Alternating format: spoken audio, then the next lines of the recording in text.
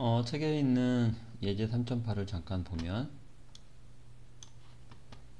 어, 제가 앞에서 얘기한 것처럼 이 무선 알로하 네트워크 같은 경우에 아, 지국이 최대 600km 이상 떨어져 있다고 그랬고 빛의 속도로 시, 신호가 전달이, 전달이 되니까 19, 아, 3 곱하기 10의 8승 meter per sec 전파 시간 예, 전파를 하게 된다 라고 하면 전파 시간은 약 2ms 정도 된다 이거죠 예, 빛의 속도 거리를 빛의 속도 나누면 시간이 되니까.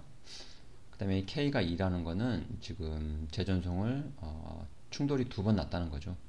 충돌이 두 번 났다고. 즉 프레임을 내가 두 번 보냈는데 어, 그것도 에크를 못 받은 상황이 되겠죠. 자 그런 경우에는 아까 말한 것은 난수가 0, 1, 2, 3 이렇게 4개 중에 임의의 수가 만들어지겠죠. 그래서 어, 낸 수가 어떤 걸 만들어지냐에 따라서 이게 이제 어, 만약에 우리가 아까 앞에서 얘기한 것처럼 난수에 대한 전송 시간을 내가 r 곱하기 아까 tp라고 하면 예, r을 내가 예, 0 랜덤 값이 0, 1, 2, 3 중에 나올 수 있겠죠. 이제 그러면 바로 전송되거나 또는 2ms 기다리거나 또는 4ms 기다리거나 또는 6ms 기다렸다 전송을 하게 된다. 지금 그런 얘기예요. 이해되시죠?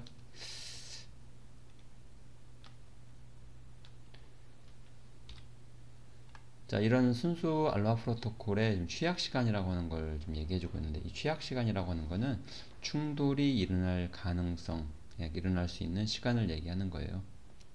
자, 지금 여기 그림이 지금 이렇게 있는데 이 시간축이고요.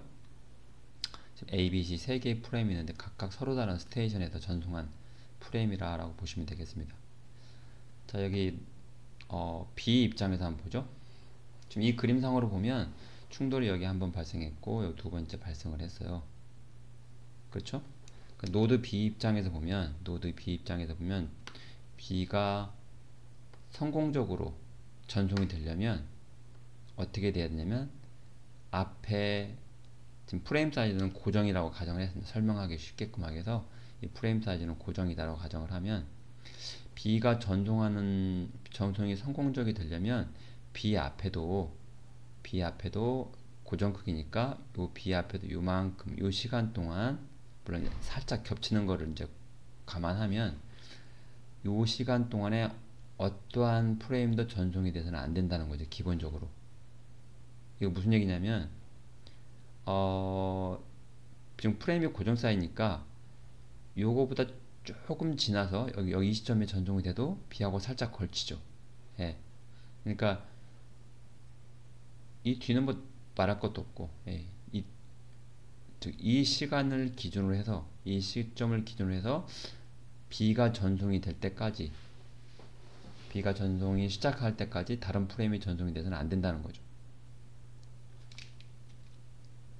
또한 B가 전송되는 중에도 B가 전송되는 중에도 여기 C처럼 전송 중에도 전송이 뭔가 발생하면 안 된다는 거죠. 이해되죠? 예. 그래서 이게 지금 취약 시간이라는 거예요. 예. 즉 B가 성공적으로 전송이 되려면 이 프레임 크기의 두 배, B를 포함해서 이 프레임 크기의 두 배 정도의 시간 동안 아무런 전, 다른 전송이 없어야 된다. 이런 얘기가 되겠습니다. 이해되죠? 그래서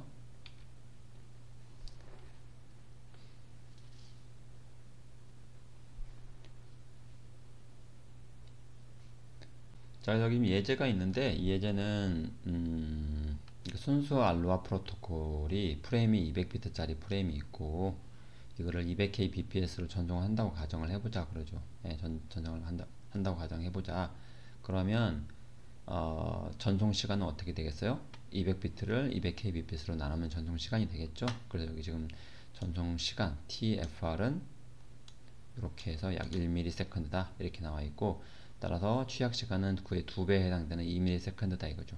즉 2ms 동안 다른 지국이 전송을 하면 안 된다. 예.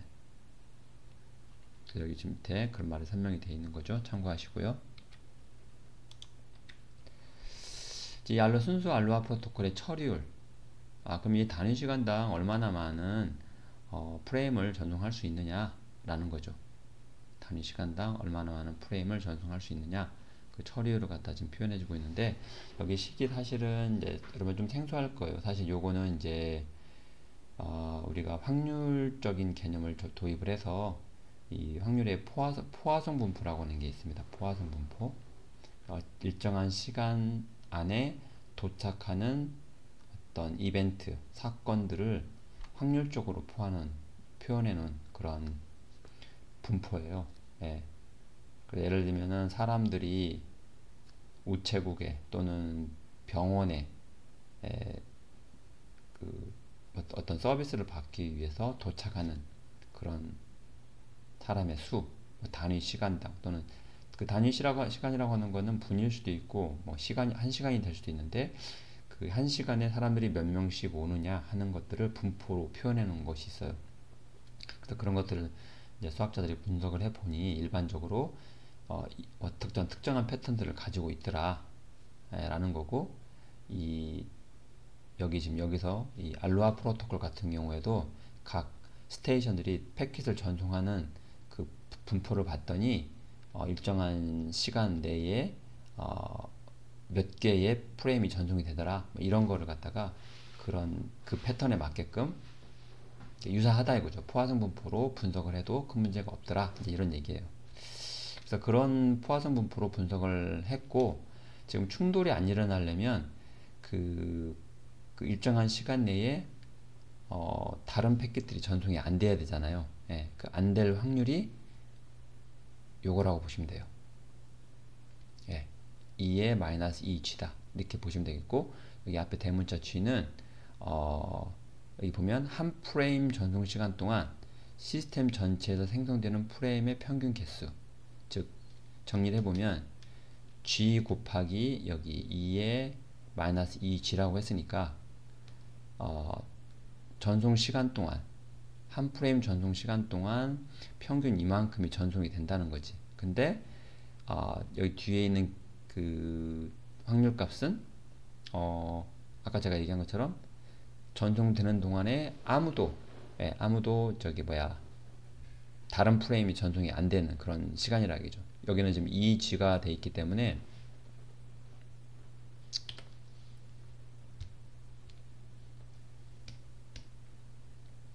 네, 2G가 돼 있기 때문에 2T 동안 2T 동안 그러니까 아까 우리 저기 뭐야 충돌 취약 시간 이 취약 시간 동안 하나도 다른 프레임이 전송이 안 된다 발생하지 않을 확률이 됩니다.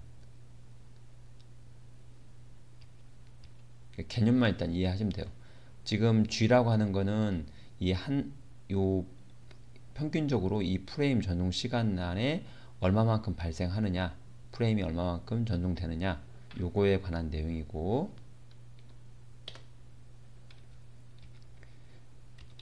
뒤에 있는 2의 마이너스 2g 값은 요 시간 동안 다른 애들 얘하고 충돌이 될 수 있는 다른 프레임이 하나도 발생하지 않는다 라는 그런 확률인 거예요. 어느 때 포화성 분포로 이거를 모델링 해 봤을 때 라는 얘기입니다 조금 어렵죠? 네, 확률적인 개념이 들어가서. 여러분 사실 이거는 아, 제가 이제 식이 나온 거기 때문에 설명을 해 주는 겁니다. 그래서 그렇게 해서 이런 식을 만들었어요. 그래서 이게 아, 맥시멈 이거 이제 최대 처리량을 갖다 계산하려면 어, 이걸 이제 그래프를 그려보면 우리가 이제 미분을 해보면 나오죠. 예, 미분을 해보면 미분할 때 우리가 미분을 하는 이유는 그 최대값이나 최소값을 갖다 구할 때 우리가 사용을 하게 되는데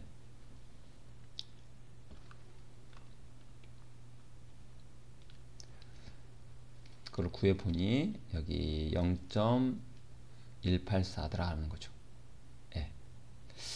그래서 이제 이거를 사실은 G값을 G값을 여러분이 대입을 해보면 즉 0에서부터 G값을 여러분 엑셀 지난번에 우리가 해봤잖아요. 예, 엑셀 저기 사인바 그리듯이 G값을 0에서부터 0.01 0.02 이게 쭉 변할 때 각각 G값을 대입한 후에 S값을 구해보면 일정한 그래프 패턴으로 올라갔다 이렇게 떨어져요. 근데 그 지점이 어, G값이 약 2분의 1일 때, 즉 0.5일 때, 어, 안에 아, 그 값이 지금 제가 그 맥시멈 값은 제가 잘 예, 확인을 해봐야 되는데 어, 0, 예. 아무튼 그 그래프를 그려보면 예, 가장 최대값이 18.4 이렇게 나오게 됩니다. 그 이후엔 다시 떨어지게 되고요. 예. 예, 맞습니다. 그러니까 평균적으로 아까 그 어, 평균적으로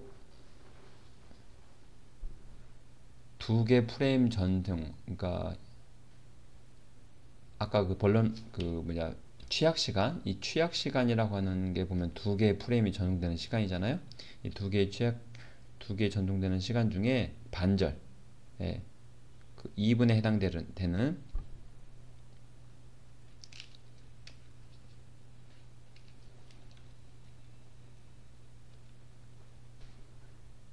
한 그러니까 그 두 개의 프레임 전송 시간 동안에 평균적으로 한 개만 전송이 되고 그 다음에 나머지 나머지 애들은 아무도 전송을 하지 않는다. 확률적으로 아무도 전송하지 않을 확률이니까 그때 맥시멈 최대 성공률이 나온다. 그런 얘기가 되겠습니다. 의미상으로 좀 그렇다는 거예요